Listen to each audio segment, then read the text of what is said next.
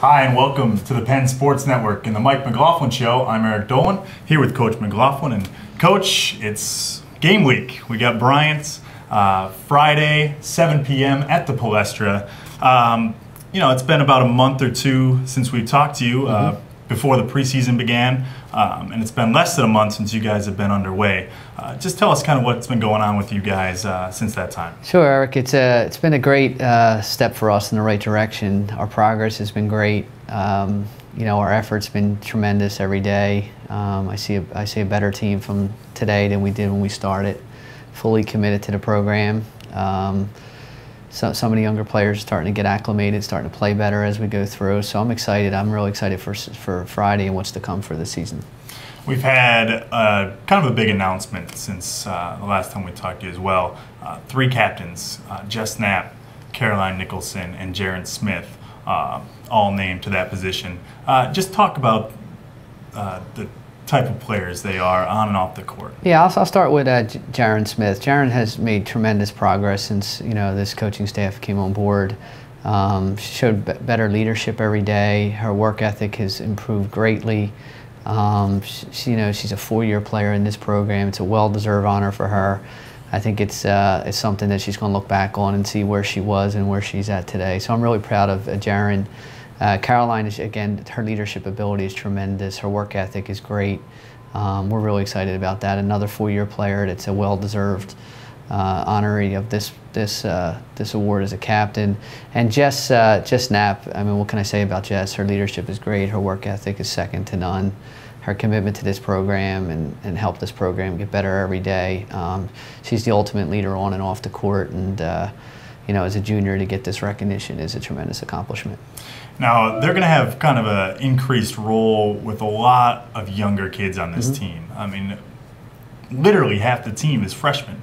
Um, so just talk about the importance that these captains and this upper class is going to have influencing these younger players. Yes, I mean let's talk about off the court. I, I think that's where the, the, progress has really been shown. I mean each each one of the upperclassmen were assigned to a, a freshman as they came in, and uh, that, that's where I see behind the scenes the leadership that has stepped up here. Um, on the court, of course, we need them to play well, to play often, to lead by example, lead by experience.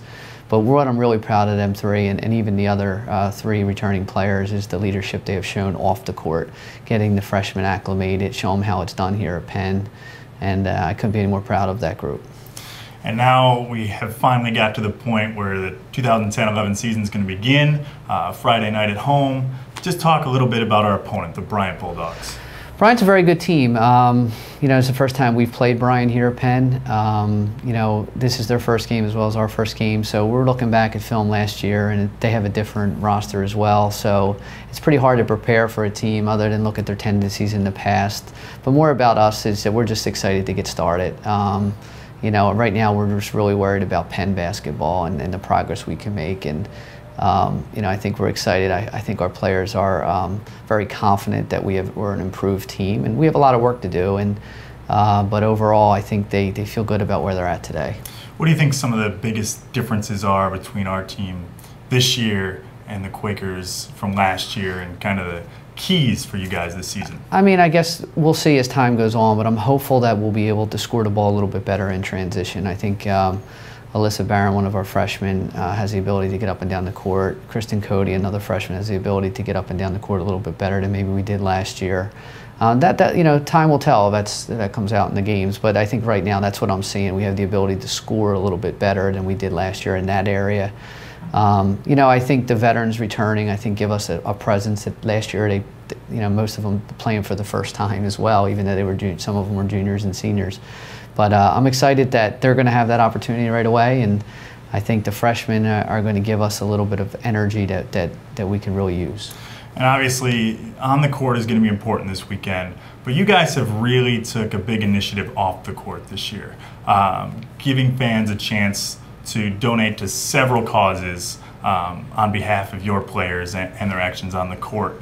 Um, talk about that program a little bit. Yeah, I think I think we're in a position here, you know, the players, the coaches, to give back, and you know, we're we're starting a, a campaign here that we have five foundations that we want to support. Um, I think more in, in, you know, obviously we're going to raise money for these foundations, but the recognition of the of the foundations are really going to help us.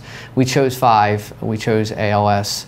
Um, we chose Parkinson's disease, which a friend of mine from college suffers from Parkinson's disease, and I think it's just, a, a, you know, Michael J. Fox Foundation is very important to him, and it's important to so many others.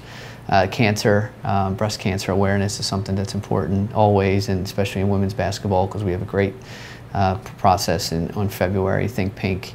Um, and we're supporting uh, cystic fibrosis as well, and, and lupus, who it was, a, it was a something one of our freshmen uh, lost their grandparent, their grandmother to, to, lupus. So I think it's something that uh, that it hits hits home, and I, more importantly, I think it allows these players to give back, and I think they need to learn that, they understand that, and they're in a position to be able to do that.